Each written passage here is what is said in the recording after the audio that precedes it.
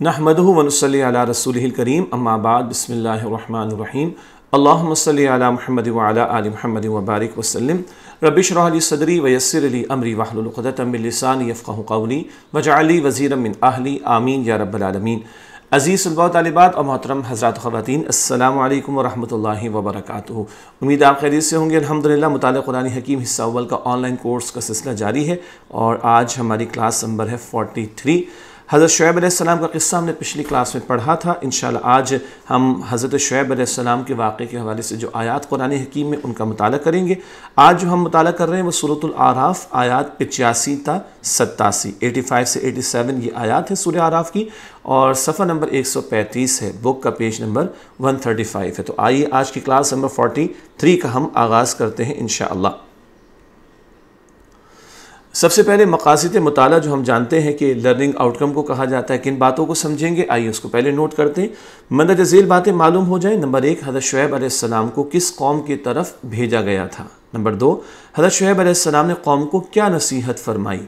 Number تین، حضرت شعیب علیہ السلام نے نافرمانوں کو کس بات سے ڈرایا ہے؟ تو کن کن باتوں سے ڈرائے یہ ذکر بھی آئے گا، کیا نصیحتیں ہوئیں، یہ بھی ذکر انشاءاللہ ہمارے سامنے آئے گا۔ آئیے بات کو آگے بڑھاتے ہیں اور قرآن حکیم کا نادرہ حصہ اور ترجمہ بھی آپ کے سامنے رکھتے ہیں۔ اعوذ باللہ من الشیطان الرجیم، بسم اللہ الرحمن الرحیم۔ وَإِلَى مَدْيَنَ أَخَاهُمْ شُعَيْبًا، قَالَ يَا قَوْمِ اعْبُدُوا اللَّهَ مَا لَكُمْ مِنْ إِلَٰهٍ غَيْرُهُ قد جاءتكم بينة من ربكم فأوفوا الكيل والميزان ولا تبخسوا الناس أشياءهم ولا تفسدوا في الأرض بعد إصلاحها ذلكم خير لكم إن كنتم مؤمنين. ما شاء کا ترجمہ کرتے ہیں و الا مدینہ اور ہم نے بھیجا مدین کے لوگوں کی طرف اخواہم شعیبہ، ان کی برادری کے فرد شعیب علیہ السلام کو۔ قال، انہوں نے فرمایا، یا قوم عبد اللہ، اے میری قوم، تم اللہ کی عبادت کرو۔ ما لکم من الہ غیر تمہارا اس کے سوا کوئی معبود نہیں۔ قد جاءتکم بینتم من ربکم، یقیناً تمہارے پاس، تمہارے رب کی طرف سے واضح دلیل آ چکی ہے۔ فعف القیل والمیزان لہذا تم ناپ اور تول پورا کرو۔ ولا تبخس الناس اشیاءہم اور تم لوگوں کو ان کی چیزیں کم کر کے نہ دیا کرو۔ ولا تفسدوا فی الارض بعد اصلاحها اور تم زمین میں اس کی اصلاح کے بعد فساد نہ کرو۔ ذالکم خیر لکم تمہارے لیے یہی بہتر ہے۔ ان کنتم مؤمنین اگر تم مؤمن ہو۔ اگلی آیت کی طرف چلتے ہیں، بلکہ اگلی دو آیات سورہ آراف۔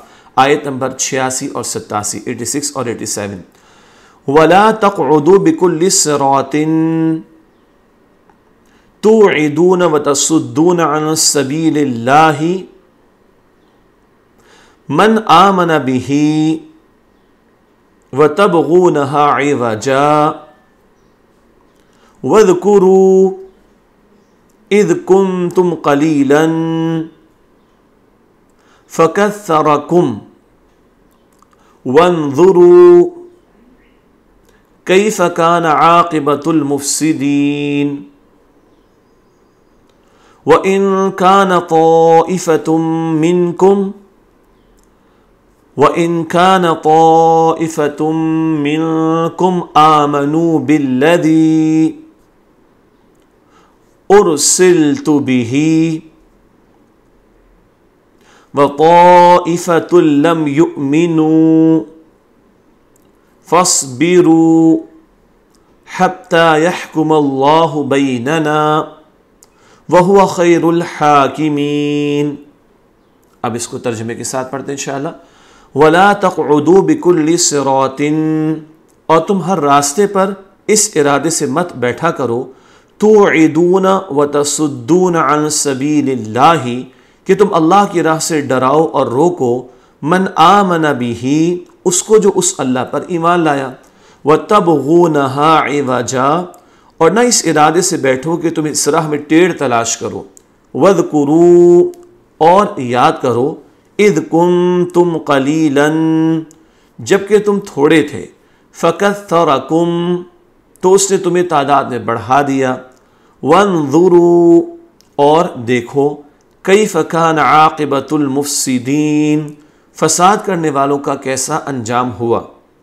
وَإِن كَانَ قَائِفَةٌ مِّنكُمْ آمَنُوا بِالَّذِي اور اگر تم میں سے گرو اس پر ایمان لائے، ارسلت به جس کے ساتھ میں بھیجا گیا ہوں وَقَائِفَةٌ لَمْ يُؤْمِنُوا اور ایک گروہ ایمان نہ لائے فَصْبِرُوا تو صبر کرو حَتَّى يَحْكُمَ اللَّهُ بَيْنَنَا یہاں تک کہ اللہ ہمارے درمیان فیصلہ فرما دے وہ خیر الحاکمین، اور وہ سب سے بہتر فیصلہ فرمانے والا ہے۔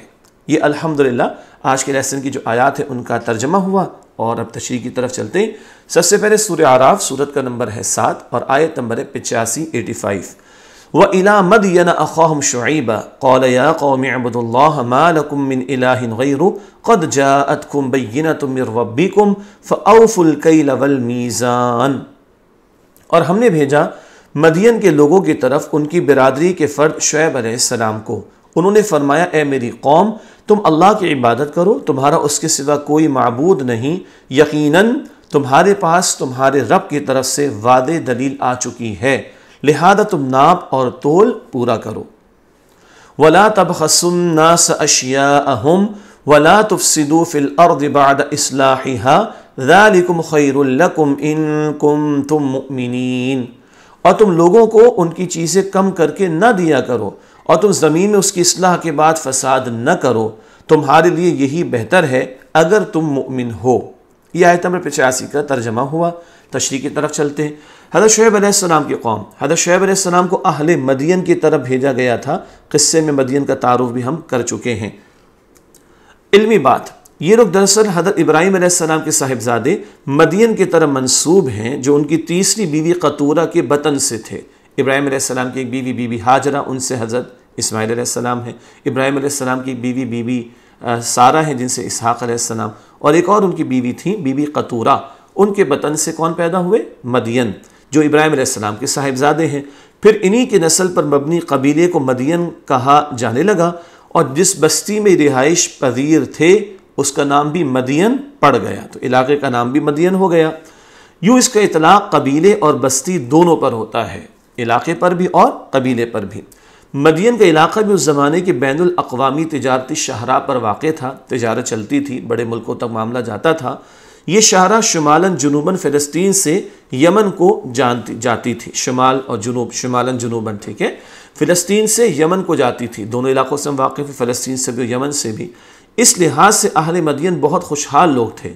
ان میں بہت سی کاروباری اور تجارتی خرابیاں پیدا ہو گئی تھیں۔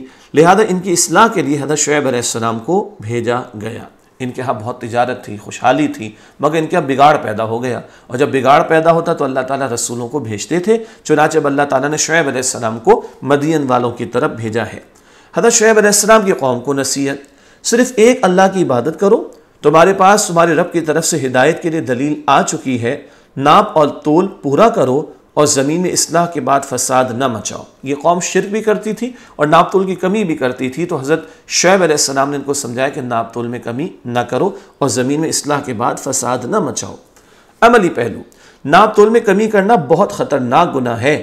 اس گناہ میں ملوث ہونے سے قوم کی اخلاقی پستی کا پتہ چلتا ہے۔ یعنی لوٹ مار کر رہے ہو، دوسرے کو کم تول کے دینے کا مطلب ہے اس کا مال ہڑپ کر جانا، اس پر ظلم کرنا۔ تو یہ اس قوم کی اخلاقی پستی پستی کہتے ہیں گراوٹ کو، برے طرز عمل کو۔ اس قوم کی اخلاقی پستی کا پتہ چلتا ہے۔ یہ بدترین خیانت ہے کہ پیسے پورے لیے جائیں اور چیز کم دی جائے عام طور پر تو یہ ناپ تول کی کمی روپے پیسے میں چیزوں میں ہوتی ہے، لیکن یہ بھی غلط بات ہے۔ ہم اپنا حق تو پورا لیں، دوسرے کا حق ادا نہ کریں۔ اپنے لیے بہت اچھا پسند کرے، دوسرے کے لیے برا پسند کرے۔ یہ بھی ناپ تول کی کمی کا ایک پہلو ہے۔ اللہ تعالی ہمیں محفوظ رکھے۔ اسی لیے صورت المتففین آخری پاری کی صورت صورت نمبر تراسی ہے، اس کا آیات ایک تا چھ میں ایسے لوگوں کی ہلاکت کی خبر دی گئی ہے۔ وَيْلُ لِلْمُتَفِّفِينَ کمی کرنے والے۔ جب ناپ کر لیتے تو پورا لیتے ہیں دیتے تو تھوڑا کر دیتے ہیں کمی کرتے۔ ہیں کمی کرنے والوں کے لیے تباہی ہے۔ سورہ متففین میں یہ ڈراوا سنایا گیا۔ اگلی آیت ہے سورہ عراف کی آیت نمبر چھیاسی۔ ولا تقعدوا بكل صراط توعدون وتصدون عن سبيل الله من آمن به وتبغونها عوجا۔ اور تم ہر راستے پر اس ارادے سے مت بیٹھا کرو کہ تم اللہ کی راہ سے ڈراؤ اور روکو اس کو جو اس اللہ پر ایمان لایا۔ اور نہ اس ارادے سے بیٹھو کہ تم اس راہ میں ٹیڑ تلاش کرو۔ وَذْكُرُوا اِذْ كُنْتُمْ قَلِيلًا فَكَثَّرَكُمْ وَانظُرُوا كَيْفَ كَانَ عَاقِبَةُ الْمُفْسِدِينَ اور یاد کرو جبکہ تم تھوڑے تھے تو اس سے تمہیں تعداد میں بڑھا دیا اور دیکھو فساد کرنے والوں کا انجام کیسا ہوا۔ یہ آیت نمبر چھیاسی کا ترجمہ ہے سورہ عراف کی۔ آئی تشریح کو دیکھتے ہیں۔ اہل مدین کے جرائم پر حضرت شعیب علیہ السلام کا انہیں نصیحت فرمانا۔ لوٹ مار نہ کرو۔ لوگوں کو اللہ تعالیٰ کے راستے سے نہ روکو۔ دین میں ٹیڑھ نہ نکالو۔ اللہ تعالیٰ کا احسان یاد کرو کہ اس سے تمہیں تعداد میں کثرت دی اور فساد کرنے والوں کے بھیانک انجام سے عبرت حاصل کرو۔ قوم کو سمجھا رہے لوٹ مار نہ کرو، اللہ کے راستے سے نہ روکو، لوگوں کے ذہنوں کو خراب نہ کرو، اعتراضات کر کے، برے سوالات کر کے، اور اللہ کا احسان یاد کرو کس قدر تمہیں نعمت عطا فرمائی، تعداد بھی عطا فرمائی۔ اور دیکھو، فساد کرنے والوں کا انجام برا ہوتا ہے تو پچھلے لوگوں کے برے انجام سے عبرت حاصل کرو۔ نا فرمان قوم کے لوٹ مار کے طریقے، لوٹنا کئی قسم کا ہوتا ہے۔ نوٹ کیجیے گا ایک تو عام صورت ہے کہ جیسے کو رہزن ڈاکے ڈالنے والے، رہزن چور ڈاکو کسی کمزور کا مال چھین لیتا ہے، یہ بھی لوٹ مار ہے۔ نمبر دو، تجارتی منڈی میں پہنچنے سے پہلے ہی مال کا سودا کر لینا۔ جبکہ اس تاجر کو منڈی کے بھاؤ کی خبر نہ ہو، اس طرح فریب کے ساتھ تاجر سے سستا مال لے لینا بھی لوٹنے کے مترادف ہے۔ اس سے نبی کریم صلی اللہ علیہ وسلم نے سختی سے منع فرمایا۔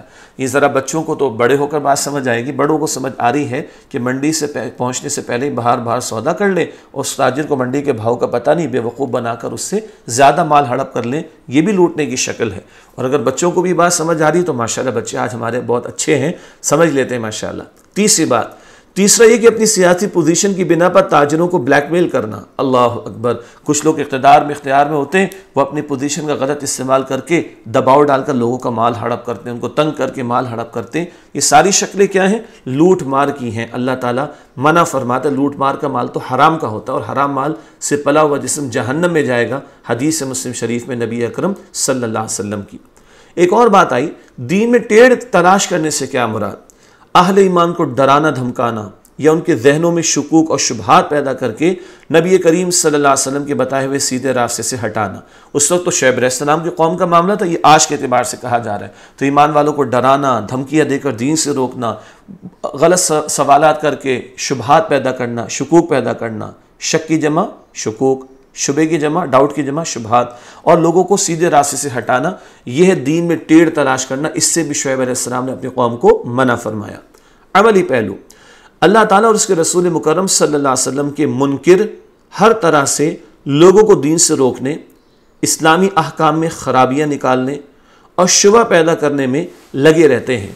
اور یہ ثابت کرنے کی کوشش کرتے کہ یہ سیدھا نہیں بلکہ غلط راستہ ہے، معاذ اللہ۔ یعنی ذکر کیا ہو رہا ہے کہ جو لوگ حق کا انکار کرتے ہیں، وہ دین کے راستے سے روکنے کی کوششیں کرتے ہیں، شبہ پیدا کرتے ہیں لوگوں کے ذہنوں میں۔ یہ ہر دور میں ہوا، یہ آج بھی ہو رہا ہے۔ ایسے لوگ اسلام کے حکام کو مذاق اڑانے اور ان کو غلط ثابت کرنے کی آئے دن ناکام کوشش کرتے رہتے ہیں۔ ہمیں ہرگز ایسے لوگوں کی باتوں میں نہیں آنا چاہیے، کیونکہ جو حق سے منہ پھیڑ لے گا، وہ تو برباد ہو جائے گا۔ تو جو دین کے دشمن ہوتے ہیں، وہ تو ایسی سازشیں کرتے ہی رہتے ہیں۔ ہر آئے دن شکوک شبات شکوک و شبہات پیدا کرنا۔ بہرحال ہمیں ایسے لوگوں کی باتوں سے بچنا چاہیے، ان کی باتوں میں نہیں آنا چاہیے اور حق پر کاربند رہنا چاہیے۔ اللہ ہمیں اس کی توفیق عطا فرمائے۔